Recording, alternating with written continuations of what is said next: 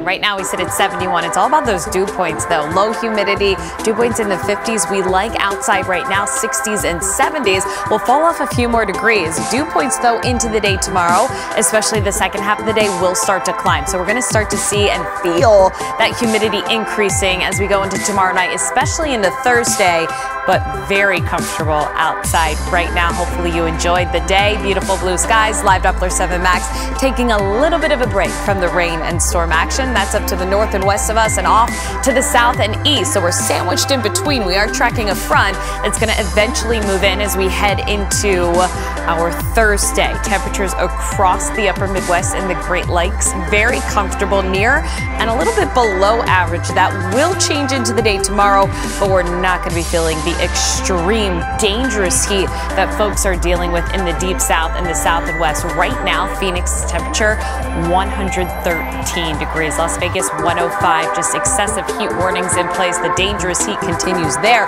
We'll see our temperatures start to climb, but not getting to that dangerous level. Tomorrow, 86 degrees. The average high, let's not forget, is 85.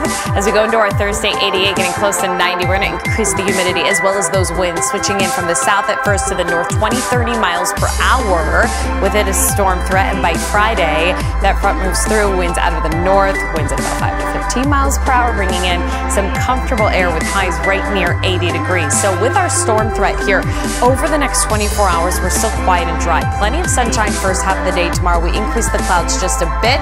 And then as we head into early Thursday, pausing this at 515, an isolated shower is possible during the morning hours, but things could get a bit more active as we head into the afternoon, increase the heat, the humidity, and the instability just a little bit. So here's a look at that noon time frame on Thursday, and it's really Chicago off to the south of I-80 into northwest Indiana. That will be the zone, the greatest risk here of some showers and storms moving on through. So we're talking about some downpours, some heavy rain, some gusty winds. There's a potential of a strong storm or two in the forecast for Thursday afternoon, early evening. Then that front clears. There you can see those winds moving in from the north and west, and again, gusty winds expected, but a level one out of five in terms of severe weather threat on our Thursday. Green mode here from Chicago down towards Kankakee into northwest Indiana.